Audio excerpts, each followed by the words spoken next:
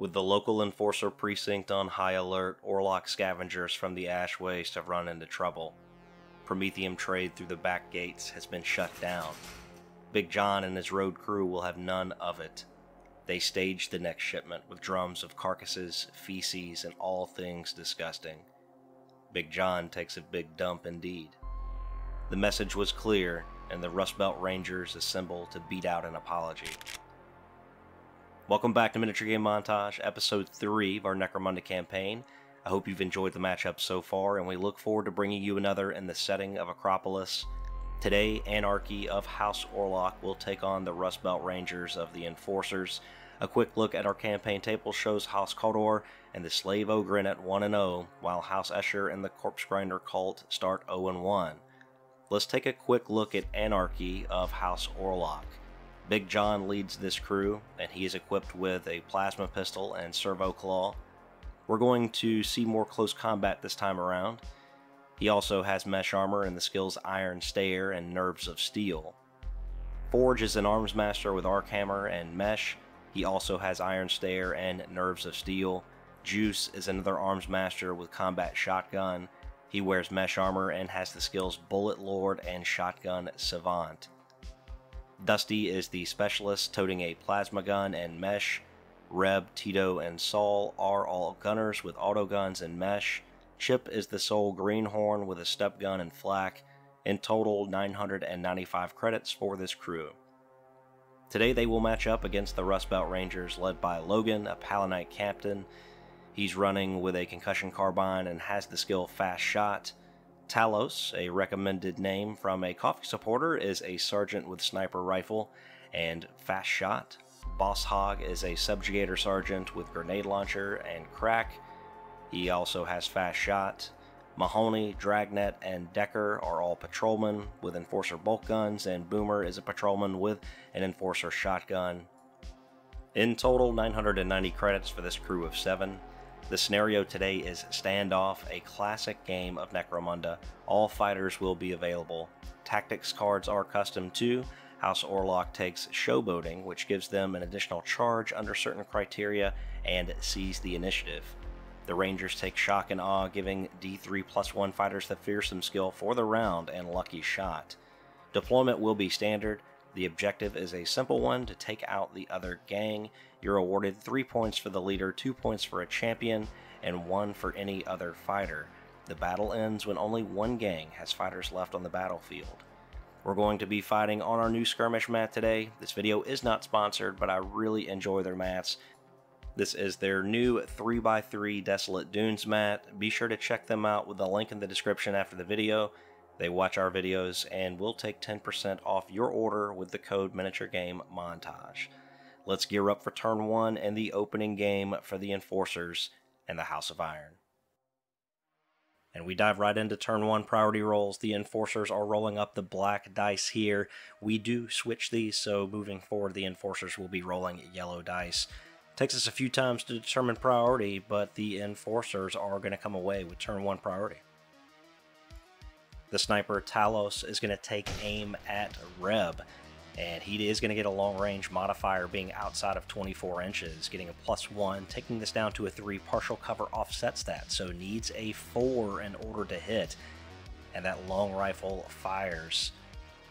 That is going to get a hit. This is strength four against toughness three. He goes down pinned, and it will be threes in order to wound. That is going to cause a wound. A save comes out with Mesh needing a six up and with that failed armor save, that 6 to wound will kick off Rending, adding one more damage. Two injury dice come out, and he goes out of action on the opening activation. And this was actually Saul, not Reb. We're still learning a few of the new names. A 55 will be a spinal injury. Nearby Dusty has a cool of 7, and he is not going to get that. He is going to break, and he is going to move 2d6 running for cover. Using fast shot, Talos is going to fire again. This time he is targeting Reb. Reb is in full cover, however, and this is going to require sixes in order to hit. That shot is going to miss, and ammo check will be required, needing a 4 plus, and that's good. First activation for House Orlock, we've got Chip. He is going to move forward with two moves. And then flipping back to the Enforcers, Boomer leads the way with that Enforcer shotgun moving twice. Over for House Orlock, the Armsmaster Forge will use both actions to move. Dragnet follows up behind Boomer using two actions to move. On the left flank, Tito is going to use both of his actions to move forward, and that is going to get a reaction from the Enforcers as the Captain Logan, he moves with his first action. His second is going to be to fire that concussion carbine, and he's going to fire at the terrain here, just going to clip Tito. Ballistic skill of 4, that is required to hit, and that is going to hit Tito he is going to go down pinned. Will he get knocked back? The answer is no. Strength 3 against his toughness of 3 will require a 4 in order to wound. That will not wound. Big John, not liking those template weapons on that side of the field, uses both actions to move. And we've got Decker on the move here for the Enforcers, using both of his actions to move as well. Reb does the same for House Orlock, continuing to get into full cover. And we have Boss Hog. He is going to use his first action to move. And his second, he is going to fire a frag grenade. Once again, targeting that spot on the ground. And this will be able to hit Tito if he does connect with the shot. And he needs fours in order to hit. That shot is going to miss. We're going to roll out a d6 and a scatter die and that is going to scatter via the small arrow 4 inches, connect the terrain, and that means it is going to connect with Tito as well. Does he get knocked back? Rolling to beat his strength, which is 3, and he will be knocked back. This will cause extra damage as he is going to come into contact. 4 is required to wound at strength 3, toughness 3, and mesh armor is a 5 up save. That is good.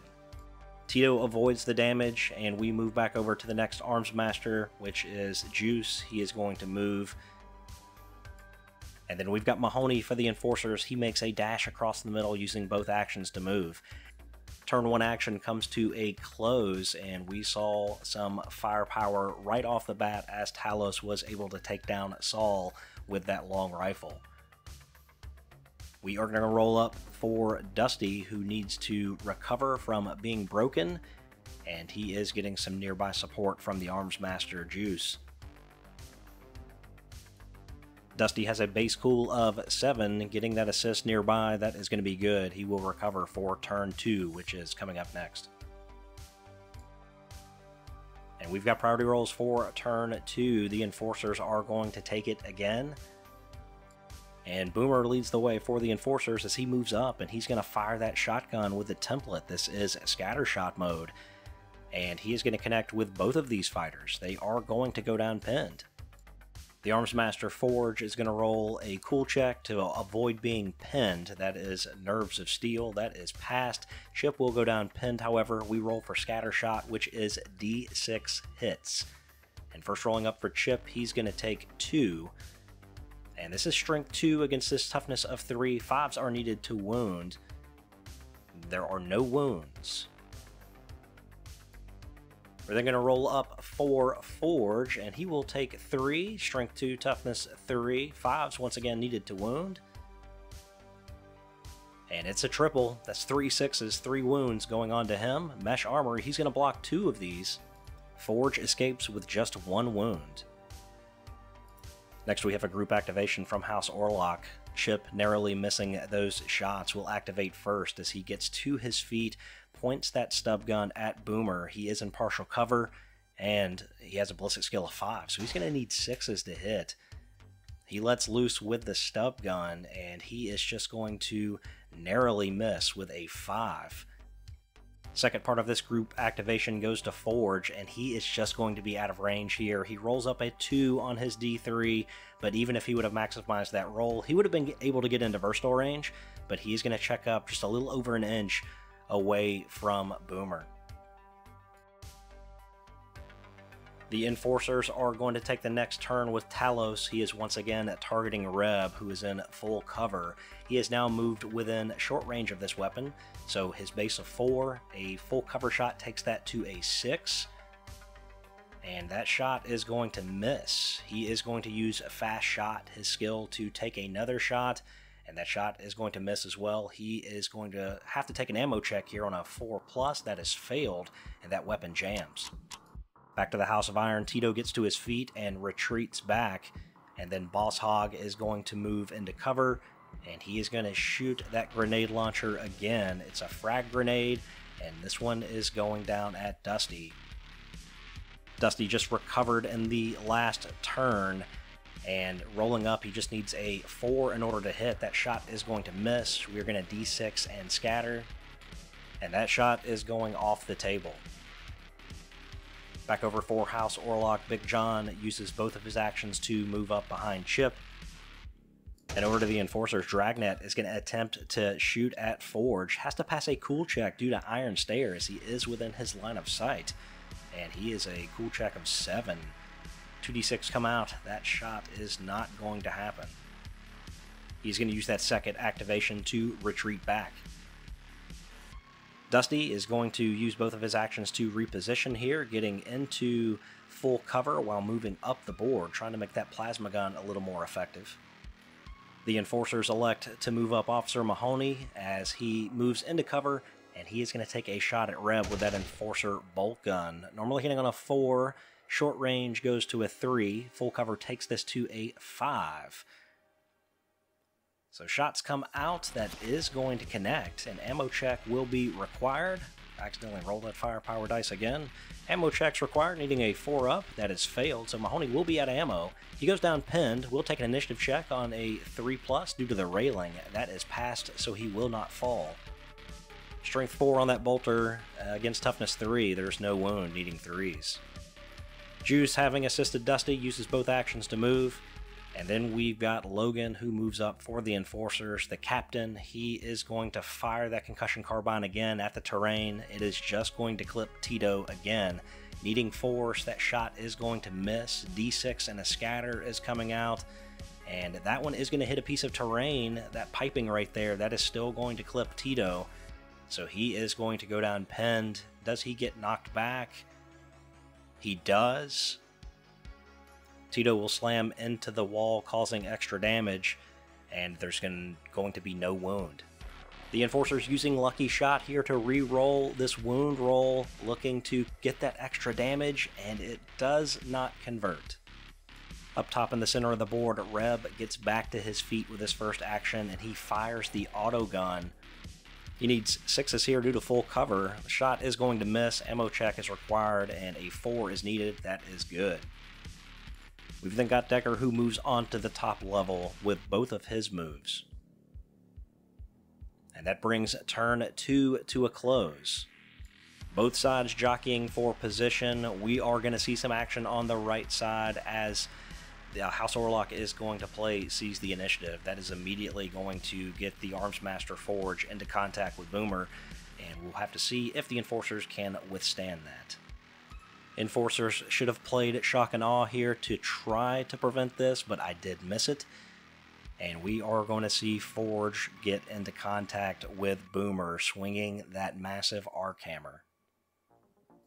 Two base attacks, plus one for the charge, and one for two melee weapons. He will shoot that stub gun as well. And he hits on threes. All but one will convert, and it is strength six on that arc hammer against his toughness of three. Two's required on that. The stub gun wounds as well. That arc hammer is AP minus one, taking him to a six up save. One of those is blocked, but he's still going to get three damage that comes across. And then we roll for the stub gun, needing a five up. No AP on that weapon. That fails as well. Four total damage coming through, reduces him to zero wounds, and four injury dice hit the deck. He is going out of action. Rolling up a D66 for Boomer, and he is going to get a 45, which is Grievous. And then we've got that Tactics card being played, Showboating. This allows Forge to make another charge action and a fight action. If he gets into contact, he rolls up the maximum distance. It's going to carry him 8 inches and into contact with Dragnet. And he is going to get to swing that massive arc hammer again and shoot that stub gun. There will be four more attacks coming across, hitting on threes. The arc hammer misses on all of these. The stub gun still connects. Strength 3, Toughness 3 requires a 4 in order to wound. That is going to wound. 5 up save being taken by Dragnet. And that is going to fail. 1 damage coming across reduces him down to 0 wounds. He goes down with a serious injury and gets the coup de grace. A D66 being rolled up for Dragnet. And he is going to get a 22 which is out cold, he will have time to recover. We've then got a frag grenade shot coming from Boss Hog as he is targeting the terrain there next to Dusty. This is just going to require a 4 in order to hit. And that shot is going to hit. Dusty will go down pinned. Does he get knocked back looking for a 3 or higher? He will not. Strength 3, Toughness 3, 4s are needed to wound. There is no wound again. We have then got another shot coming from Boss Hog with that frag grenade. He fires that down again, just clipping the base. That is going to miss. D6 and a scatter being rolled, and that is going to hit the terrain right beside Dusty. He will go down pinned. We do roll up to see if he is knocked back, needing a 3 or higher. He is not knocked back. We then roll up to wound, needing 4s. Once again, strength 3, toughness 3. That will do a wound. Mesh Armor has a 5 up save. That is no good, so an injury die will be rolled out for Dusty, and he goes down with a serious injury. Over for Anarchy, Reb decides to take a shot at Decker on top here. He's going to aim first. That is going to negate the partial cover that he is receiving. So just looking for that base of 4. I believe he may be just outside of 8 inches. But that shot is going to hit regardless. An ammo check is required and a 4 up is needed and that is going to be passed. So strength 3 against toughness 3, force required to wound. He is going to get a wound. Decker not close enough to have to take an initiative check, but he will go down pinned. The armor save is going to fail, just a 5 being needed, and an injury dice rolled out for him. He goes down with a serious injury. Logan, the Palanite captain, is going to respond and He's going to fire that concussion carbine up at Reb. He's going to target the terrain here right in front of him. And that is going to require just a 4 in order to hit. That concussion carbine lets loose.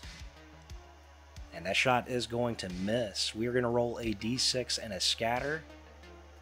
And that one is going to fall off down to the ground unaffected. Now, Logan does have a fast shot, so he is going to try this shot again with his second action and again, requiring force in order to hit, that is going to be good. Ammo check is required, and that is going to fail. So that weapon will be out of ammo. Reb does go down pinned, and he is concussed. He is also going to be knocked back, but he is still going to be able to grab onto this railing. We'll take an initiative check for him. He's got a base of 4. The concussion takes it to a 6, but the railing makes it a 5. He is okay. He will not fall. Strength 3 against Toughness 3 requires a 4 to wound, and there's no wound. Back to Anarchy, we've got Tito, who is going to stand and move forward now that both of those template weapons have fired. And then we've got Talos reloading his sniper rifle on a 4 plus. That is good. And then he is going to use his second action to move up to the top. Back to House Orlock, we've got Dusty, who is just going to make a crawl maneuver. And then up here, we've just got a pass coming from Decker down with a serious injury. The Arms Master Juice is going to use both of his actions to move, getting into cover. Mahoney down at the bottom is going to attempt to reload that Enforcer Bolter. fails on the first one. He's going to try that again, needing a 4 plus, and that is successful. Back on the Orlock right flank, we've got Chip using both of his actions to move. We've got Big John following up behind him, using the Greenhorn as a screen. Turn 3 comes to a close. Both sides are taking serious injuries. Fighters are going down. Blast weapons over on the Enforcer right flank, holding down that objective, but House Orlock is securing the center and the left side of the board. House Orlock not able to bottle right now. Dusty is going to roll recovery. He will stay down with a serious injury. We will also roll for Decker up top, and he is going to roll back over with a flesh wound. We do need to take a bottle check for the enforcers. This should be done before recovery rolls, but we still counted them as they were, and that bottle check is good. Priority rolls for turn 3 come out, the enforcers have it again. This time the enforcers are acting quickly with a group activation from Logan and Boss Hog. Logan is going to fire, or he's actually going to try to reload first. That is successful on a 4 plus. He is then going to fire that concussion carbine, once again clipping Tito and this time clipping the Arms Master Juice. This is just going to require a 4 up to hit. That is going to be good. We roll out the firepower dice as well. That is fine. Both of those fighters will go down pinned, and now we need to roll to see if they are knocked back. First, rolling up for Tito. He will be knocked back, but he is going to be uh, actually into the terrain here before he goes pinned. And then we roll up for Juice, needing a 3 plus, and he is going to be knocked back as well into the terrain, causing one extra damage. Alright, and fours will be needed to wound. Strength 3, toughness 3. Wound roll comes out. That is successful. AP 1 takes this to a 6 up save. That is going to be good for Tito. And then once again for Juice, needing a 4 in order to wound. That is going to wound. And a 6 up save, as he also is wearing mesh, is required AP minus 1. And that is going to fail. So that is going to be 2 damage onto Tito with that knockback. That reduces him down to zero wounds, and he goes down with a serious injury. Cool test by nearby Tito is passed, and the second part of this group activation is Boss Hog firing that frag grenade down, this time targeting the boxes and clipping Big John as well as Chip, and that shot is going to hit. Knockback rolls being taken first on Chip, that is good, and then for Big John, he will not be knocked back. Both of these fighters will go down pinned, and Strength 3 Toughness 3 requires 4s in order to wound. Chip takes a wound, and a 6 up flak armor save is what he needs. He does not get it, so an injury die will be rolled out for him. It is a flesh wound. We then roll up to wound for Big John, and Big John has a toughness of 3 as well, so once again, fours are needed. That is going to wound. Mesh Armor takes this to a 5 up save for him. And that save is going to be failed. He will take one wound and still has two remaining. House Orlock has weaved themselves into a tight spot here as Boss Hog is going to fire another frag grenade targeting the terrain there in front of these guys, and he's going to roll up with a 4 to see if he can hit. That is going to hit. Once again, rolling to see if it knocks these guys back. We were checking the template here to make sure it was still going to connect with these guys. It will.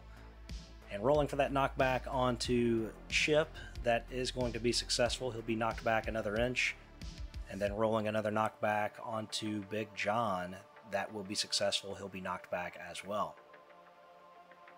Now rolling to wound, and Chip does have a flesh wound, so he will require threes. That is going to be successful. A six up flak armor save will be taken. And that save will be no good. Another injury die will be rolled out for Chip, and he goes down with a serious injury. Big John owes us a cool check, but first we're going to see if he gets wounded. And once again, we will need to see force here to wound. There will be no wound. Cool check needing a 5 plus due to Chip going down with a serious injury, and he gets a 5. He's good. Anarchy doing their best to weather the storm here. Tito gets to his feet. He's going to lend an assist to the Arms Master. We've then got a shot coming down from Talos as he targets Forge. Normally hits on 4, full cover will take this to a 6, and that shot is going to miss. Fast shot allowing him to fire that weapon again, and he will get a hit this time. Iron Stare not coming into effect here as he is not in his line of sight.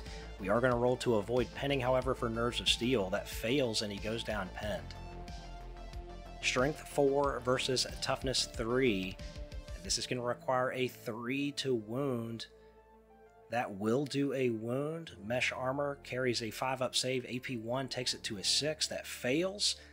That reduces him to 0 wounds, and an injury die will be rolled out here for Forge. This could be huge, and it is a flesh wound.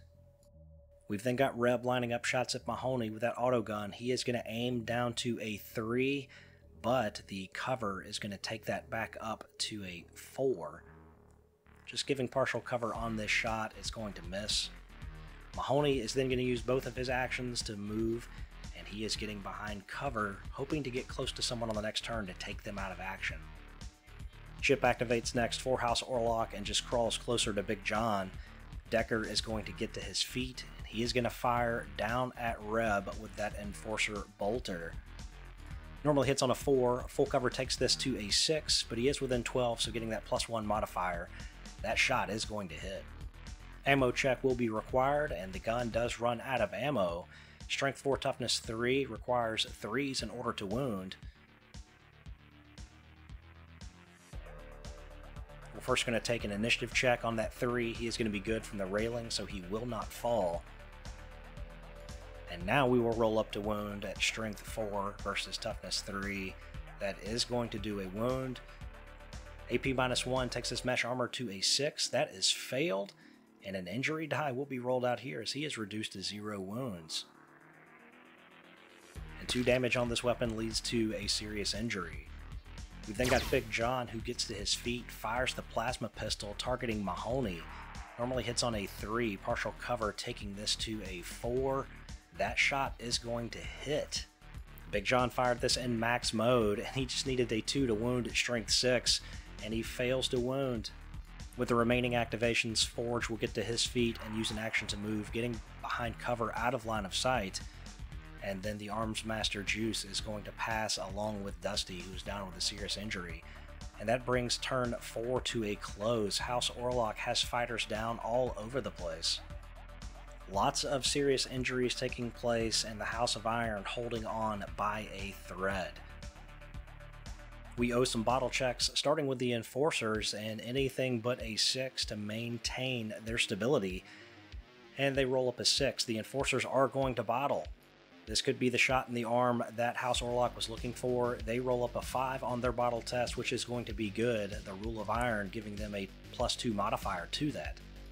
Now, rolling for recovery, we're going to start with Chip here. He is getting an assist from Big John. He's going to roll back over with his second flesh wound. We are then going to roll up for Reb up top. And it looks like he will stay down with a serious injury. We'll roll up for Dusty underneath. And he is going to stay down with a serious injury. Back on the other side, we have the Arms Master rolling up two for him. He's getting an assist from Tito. He stays down with a serious injury as well. Priority rolls for turn five come out. House Orlock will be up first. Cool checks are coming around, and Logan, the captain, is going to fail. He had a cool of six and he is off the board. We've then got Boss Hog who rolls up. He is going to pass, looking for a six as well. Mahoney is not quite within six inches to get that bubble. He fails his cool check, needing a seven, so Mahoney is off the board. And then rolling up for Decker up here, all alone, needs a seven. He is going to pass and then a 6 needed from the sniper Talos. He is going to pass as well, but the Enforcers just lost two fighters. And feeling the momentum swing, Tito moves forward with that auto gun. He is going to take a shot at Boss Hog. He does not quite get within 8, eight inches to get his short range modifier. He's still going to be hitting on a 4 here, however. That shot is going to hit. Boss Hog is going to go down pinned. It is going to wound as well on that 6. Boss Hog has a 4 up save, which is failed, and he is going to take one wound. Talos will look to retaliate as he swings the sniper rifle to the right, and he's going to target Tito. Tito is in full cover from those ruins, and that will take his 4 to a 6. That shot is going to miss. Ammo check is required. That weapon runs out of ammo. The reload attempt fails, and we move back to Anarchy as Big John is going to use both of his actions to move. trying to lend an assist to Dusty with that plasma gun. Boss Hog pops back to his feet and he is going to target Tito. He loads a crack grenade into the grenade launcher and he is going to fire, needing a 4 that is going to hit. Strength 6 on that krak grenade versus Tito's toughness of 3. 2's required to wound. That is going to do a wound.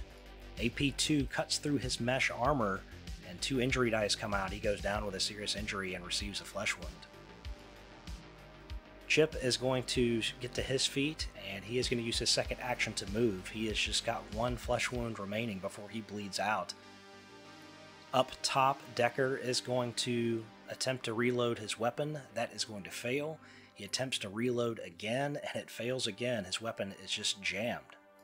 We've then got Forge, the arms master, moving to the bottom of the stairs, and on the next move, he will be able to reach Talos with that arc hammer. Dusty is going to use a crawl maneuver to get closer to Big John, getting that assist in the end phase. That brings us to the end of the turn, and what a swing of events as the enforcers ended up bottling, lost their captain, and lost one of their officers. House of Iron remaining cool with the Rule of Iron, and we're going to move into the end phase. Bottle check for House Orlock. On that three, it essentially becomes a one with the Rule of Iron. They are just fine. Rolling up a recovery for Dusty, and he goes double out of action. So the assist from Big John not working. It's a 31.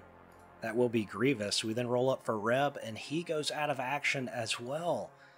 So House Orlock getting extremely unlucky on their uh, injury or their recovery rolls. And it looks like that's going to be a 14, which is out cold. Rolling up for the Arms Master Juice, he is going to roll back over with a flesh wound. We also have Tito, who will receive an additional flesh wound, but he does roll back over, becoming pinned. And with all this being done, the enforcers are going to decide to voluntarily flee the battlefield. They have lost two fighters in this one, but depending if they can win the priority or not, if they lose, then Forge is going to be able to come up with that big arc hammer swinging at Talos and more than likely take him out of action.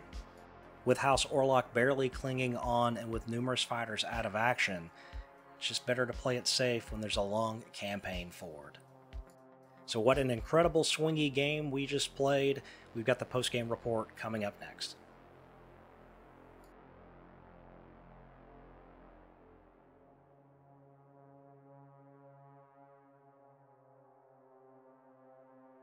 Alright, hope you enjoyed that matchup between House Orlock and the Enforcers, and despite the Enforcers having a chance to win that game, just not in the cards to stick around any longer, knowing that you're going to lose one of your sergeants. Even if the Enforcers had one priority, in order to turn and shoot at that Arms Master, he would need to take an Iron Stare test, which would require a cool check, in addition to another cool check to just stick around. The Arms Master also has Nerves of Steel, where he can easily pass a cool check of 6 to avoid being pinned, and then charge his way up to the top, taking Talos out of action.